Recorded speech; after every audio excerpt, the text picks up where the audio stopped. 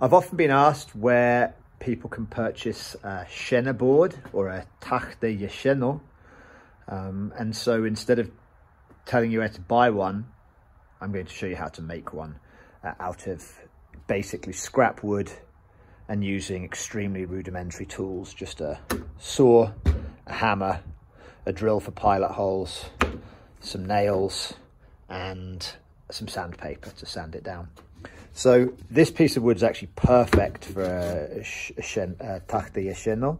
Uh, it's already curved off and it's about the right dimensions, just needs to be cut to shape. So this one's really easy to work with. Um, this one's the perfect length and I can make two boards out of it by cutting it and sanding it. And this one's a little bit thinner, um, but will absolutely do. So this is the perfect size for the board on top. It's just under an inch in depth. They all are. So they're about an inch in depth. Uh, and this one here is two and a half inches wide approximately.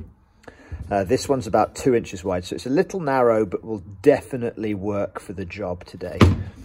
Um, this piece here, it's 29 inches in length. And what we were looking for is between 28 and 30 inches. 30 is definitely long um, in length, but we're going to go with the 29 inch. So this one's the perfect length just needs to be cut in half.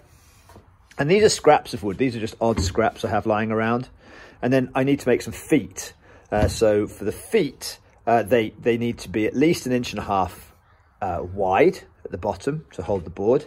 Uh, and they're going to be two inches deep. Uh, and the bottom of the board, the bottom of the foot, is going to be a trapezoid. Uh, and that's going to be about five and a half inches at the bottom and then the length the width of the board, so two and a half or two at the top so that it fits nicely. So we have two feet on each board. And these are again just scraps. You could use two by four because it could be two inches wide. It doesn't really matter. This one, these ones are actually um, really old, you can see, but I'll sand them off and they'll be fine. Uh, these are one and a half by five and a half, I think. And then the same here, one and a half by like three and a half inches. So these are super easy pieces of wood lying around. You can make it very easily with almost no carpentry skills. I'm going to use the this cross saw, I'm going normal hammer, claw hammer. You can use a tack hammer, it doesn't really matter. A drill. Um, then um, for that, I'm just going to drill pilot holes because it make my life easy. And the nails I'm going to use, I'm probably going to use these uh, two and a half inch uh, brights with their finishing nails. So they've got a small head, as you can see. Uh, so they're not, we're going to put them so they actually punch through. We can actually use a uh, nail punch to kind of push them a bit deeper. Um, in fact, that's what I'll do. And if you haven't got a nail punch, uh, you can just easily use a bigger nail and just punch them in like a, you know, big old nail as a nail punch. So that's what we're going to do today. It'll be nice and simple, pretty quick job.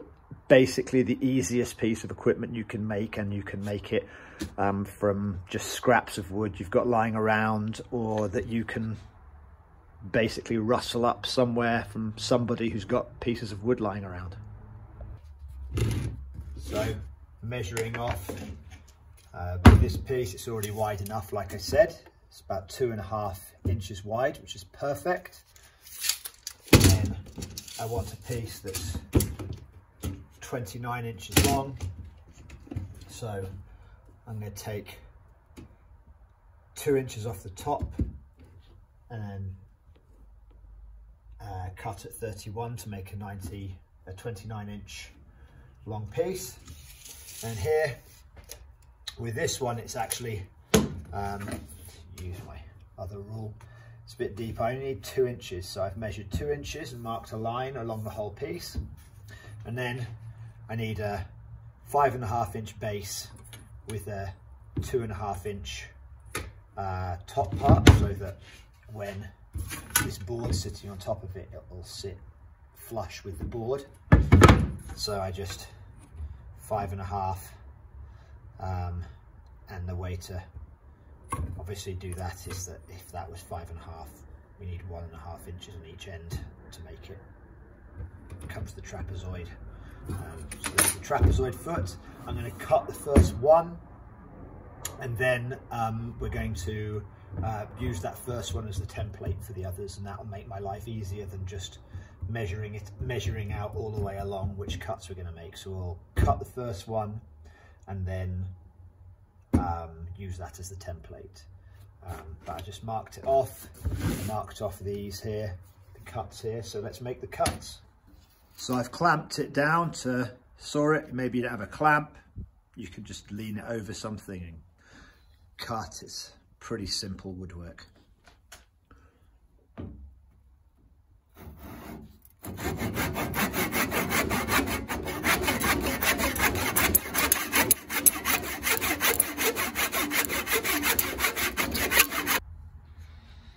Since I've got it clamped down, now it's cut, I may as well uh, try and sand it off. I'm going to use some coarse sandpaper. I've just put this on a hand sander, but you can just use the paper. And I'm just going to sand it off with the coarse paper to try and make the edges a bit rounded off. Uh, and then round off the edges, mostly just for aesthetics. You don't need to do that. You can just literally cut it and leave it, just sand off the sharpness uh, of the edges and that'll be good.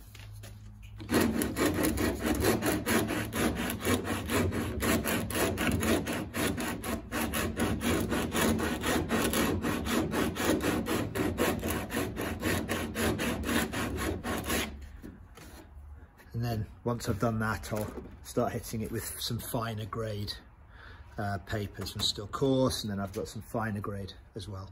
But you can see already with that coarse sandpaper, it really starts to curl and make that nice rounded edge, which is kind of pretty.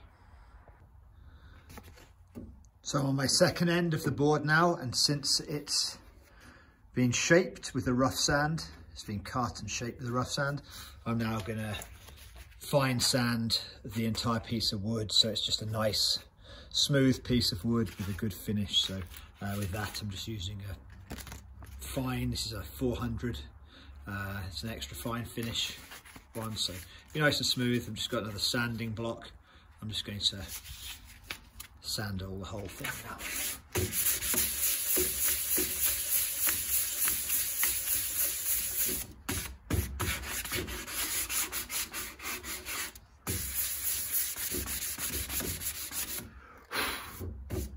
You see it's already starting to come out nicely in the uh, grain of the wood's going to really start showing through too, which is something that's quite pleasant. It's nice to have good aesthetics, but like I said, this is just a scrap of wood, so any wood will do. If you just want something functional, it really doesn't matter. So now you can see top board is finished. It's not perfect in terms of sanding, but the important part is that it's smooth. So it's really smooth to touch. Um, you just don't want any sharp edges where you're going to cut yourself because you're going to be putting a lot of your body weight on top of the board. So there you go, scrap piece of wood for the top of the board's looking pretty decent. So now we're going to cut the first foot, nice and easy. I'll cut off this top piece after I've just cut the shape of the trapezoid.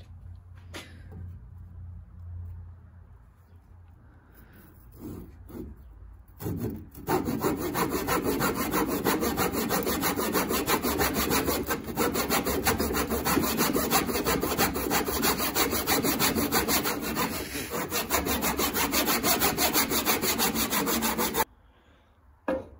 cut made. Of course you could use power tools, make life easier, rather than the mitering saw like this.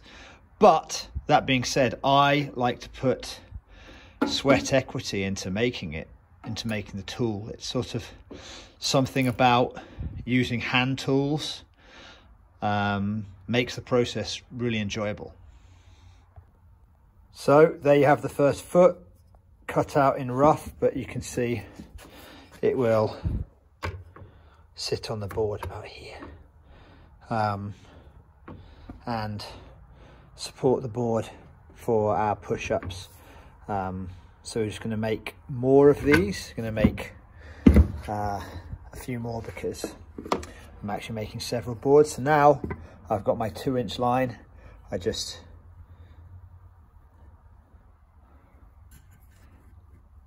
mark that up to there. Um, nice and easy. I can just do one there, then replace it, put one there and just draw, mark off all the feet I want to make. Okay, so having cut the feet,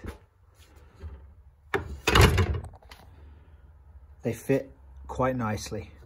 Uh, what I am going to do is make sure there's not really too much of a gap underneath uh, you can see a little gap here.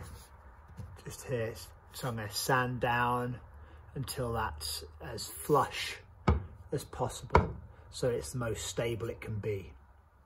Um, so I'm going to do that and then we will drill some pilot holes and put the nails in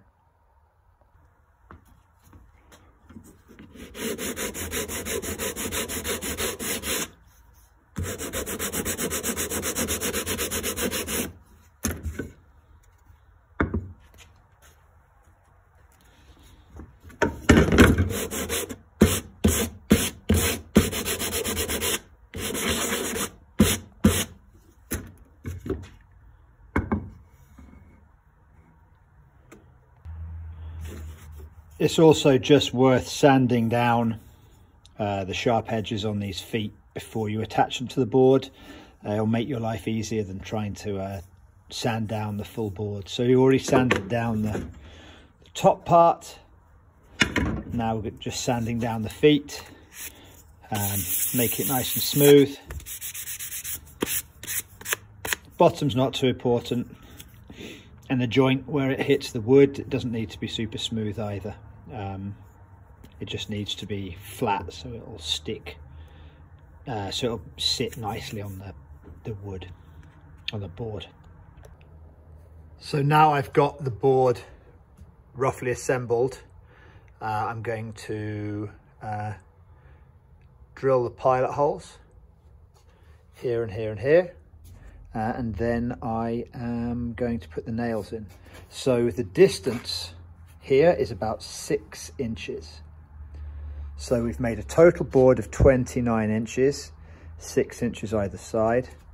Uh, the top of the board is two and a half inches deep, sorry, two inches wide by about just under half an inch in depth. And the feet are one and a half wide. It could be too wide, it doesn't really matter. It could even be a slightly more narrow, but the important part is to make sure that it's uh, nice and wide this way across the base. Like the length of this the base should be at least five inches. This one's five and a half. So it's two and a half at the top five and a half at the bottom. So now there's nothing left for me to do except for drill the pilot holes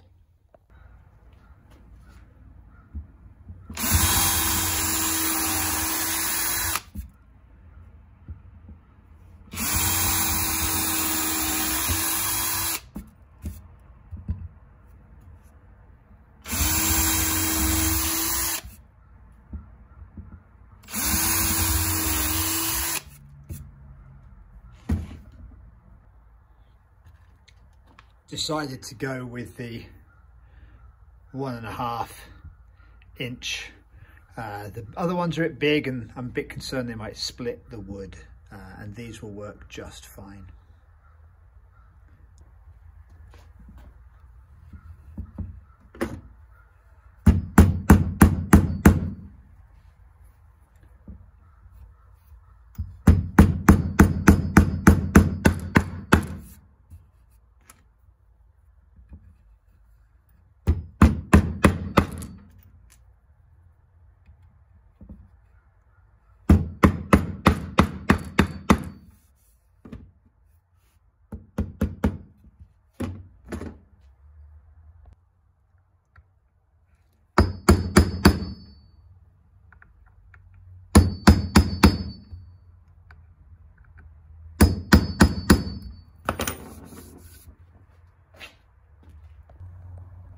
So there you have it. In a pretty short amount of time, you can make yourself a pretty decent uh, taxte-ye šeno, uh, or a shena board as it's sometimes called. It's often called in the West. It isn't necessarily the most beautiful. Uh, you know, I'm kind of not the best woodworker, so I've kind of have to sand it down a bit more maybe, but it's pretty smooth and it's definitely completely functional right now. Um, actually, if you go to Iran and to the Zurkhaneh there, uh, they do not have all lots of beautiful boards. Volume is the key, so they need to have a lot of them. So actually, a lot of them look a lot like this one, pretty rudimentary. Uh, you could stain it or paint it or put something on it. I'm probably going to leave this one completely bare wood. Um, you can uh, use uh, beeswax, it's pretty nice if you want to keep it um, kind of looking a bit nicer, but I'm just going to keep this as bare wood. Uh, I'm not entirely sure, some kind of pine probably I think is the top, and this is definitely pine for the feet. Uh, so there you have it. Taxte-ye Šeno.